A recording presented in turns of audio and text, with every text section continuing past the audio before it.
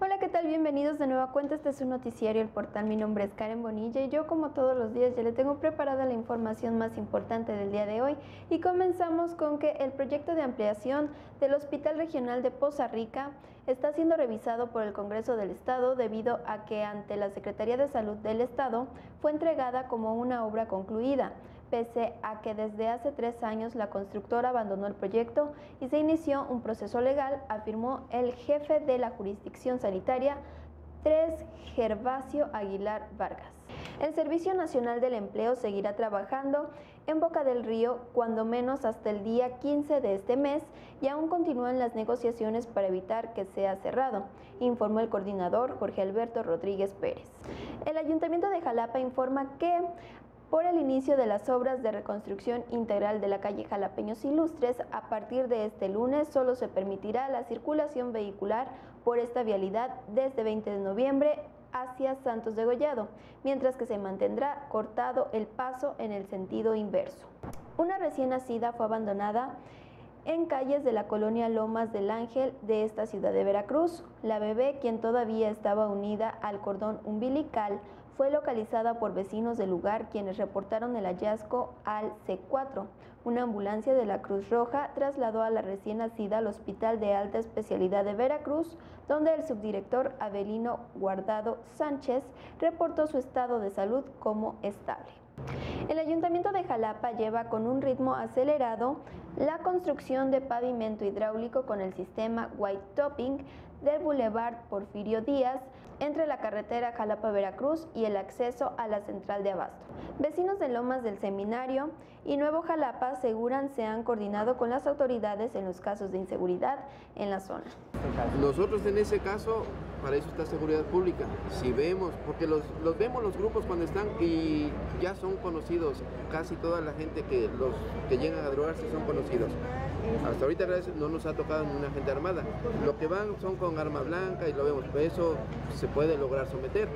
Somos más que ellos a veces.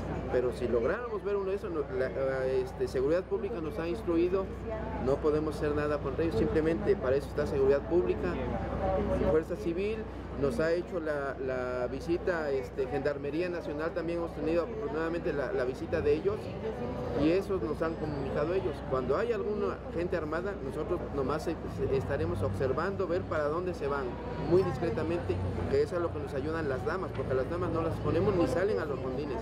Ellas se quedan y muy discretamente ellas nos están mandando mensajes, se fueron para tal lado, están para, son tantos, van así vestidos y es la forma que nos ayuda. El gobernador Miguel Ángel Yunes Linares confirmó la ejecución de dos personas en la colonia Progreso de la ciudad de Jalapa.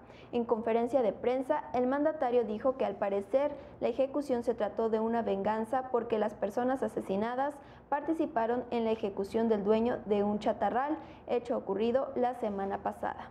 Megacable se despide de la rama de televisión y lanza su nueva plataforma XView a partir del día de hoy con una inversión de 90 millones de dólares. Un momento muy muy esperado para, para la administración local y sobre todo para, nuestros este, suscriptores, el poder tener acceso a una nueva plataforma tecnológica que, que vaya que les va a dar este, un gran beneficio de entretenimiento y sobre todo un, este, un gran servicio para tener acceso a diferentes contenidos.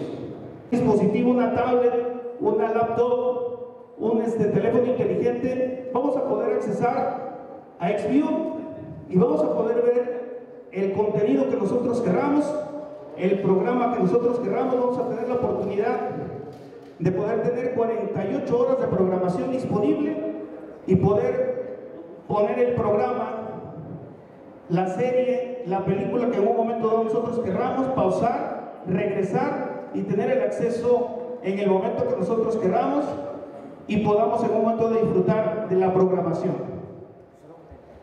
Los 178 migrantes abandonados en el norte de Veracruz este fin de semana salieron desde el pasado jueves 28 de julio de Villahermosa, Tabasco. Tras día y medio de camión, se quedaron varados a la altura de la comunidad El Suchil Viejo en el municipio de Tantima.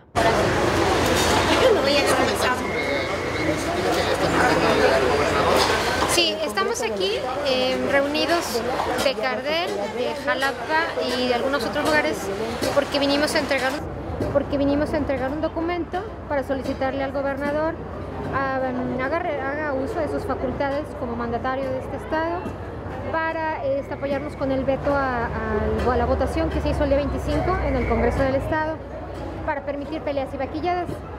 Acabamos de entregar el documento, ya lo tenemos de recibido, no sé si ya lo, lo pudiste ver. Entregamos hoy el documento y, este, y bueno, vamos a esperar a ver qué nos responde el gobernador. Apelamos a su, a su sentido de amor a los animales, que fue un compromiso que él firmó en su campaña política y que nos confirmó en el Congreso del Estado cuando nosotros le preguntamos cuál era su postura ante la iniciativa que había propuesto el, diputado del PAN para que regresaran peleas de gallos y vaquilladas. Y él nos, nos, nos corroboró que él, su compromiso ya lo había firmado y que su compromiso era con los animales. Así que a eso estamos apelando el día de hoy para que haga uso del recurso del veto y nos apoye con este, este trámite. ¿no?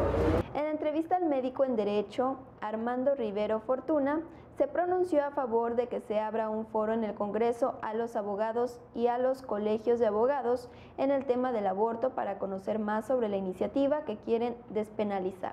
Eh, nosotros eh, queremos participar y estamos participando de una manera eh, responsable y conforme a derecho.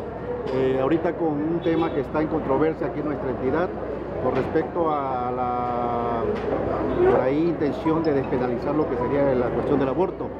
Eh, queremos expresar que sería más importante que el Congreso del Estado, los diputados que están con la iniciativa, que no la conocemos, abiertamente no la conocemos, porque ignoramos si algunas otras barras o colegios hayan tenido alguna invitación para participar en algún foro o con alguna opinión jurídica al respecto. Eh, por ahí, por, ello es que, queremos pedir pues, que la abran esta iniciativa, que la den a conocer abiertamente de qué se trata, cuál es la finalidad y que también, pues bueno, sería muy importante que invitaran a, otros colegios, barras, pero también a colegios médicos, a colegios de ginecólogos y, especialistas en, en obstetricia, que son los que deben de conocer en esta materia, porque realmente, bueno, no sabemos nosotros si eso sería lo más viable para la juventud, para los jóvenes, para los adolescentes. Orfilio García asegura que varios grupos de choque han intentado despojarlo de un terreno de casi dos hectáreas, las cuales son destinadas para centros educativos y hoy solicitan al señor gobernador que intervenga. Venimos de manera pacífica pero muy firmemente a decirle al secretario de gobierno y a informarle al gobernador por si no estaba enterado, lo dudo, pero, pero por si no estaba enterado, que estamos en una situación complicada y que venimos a pedirles que de una vez por todas se cumpla con el pago de ese terreno, se inicie la construcción de las escuelas y los niños eh, se vean beneficiados, así como lo hizo hace unos días en en una escuela que dio el banderazo de la construcción. ¿no? Lo vemos con beneplácito, pero bueno, aquí está un problema social latente que lo tomaron desde que antes de que iniciara su gobierno, que ellos nos los ofrecieron, que les dimos ese tiempo prudente para poderlo atender. Digo, hoy exactamente se cumplen ocho meses y bueno, pues queremos ver qué pasa, porque no queremos que se vaya a generar una, una desgracia por un enfrentamiento, por estar defendiendo ese terreno. Plaza Lerdo, varios compañeros de diferentes medios de comunicación recordaron a Rubén Espinosa a dos años de su muerte, exigen justicia. ¿Quiénes fueron sus agresores? A pesar de que se fue aquí de Veracruz, perseguido por muchos actores que ustedes conocen y que presuntamente están en la cárcel. En esta ocasión, el colectivo Voz Alterna le rinde un tributo a Rubén Espinosa Becerril, nuestro querido Rubencillo, Eh, en esta ocasión también para que se hiciera justicia a los compañeros asesinados durante el sexenio de Javier Duarte de Ochoa y de muchos más compañeros que están desaparecidos y a la fecha no se han encontrado. Con la colaboración de muchos compañeros que aquí vemos, nos han apoyado para eh, recordar, y les repito porque no se ha hecho justicia en el caso de Rubén, y ahora sí hemos llegado al final de este noticiario y antes de irme los invito a que nos sigan a través de nuestra página el portal.mx y el portal de Renatiti Fatilú. También nos puedes seguir a través de nuestras redes sociales, estamos en Facebook y también estamos en Twitter. Mi nombre es Karen Bonilla y yo los espero mañana con más información aquí en el portal.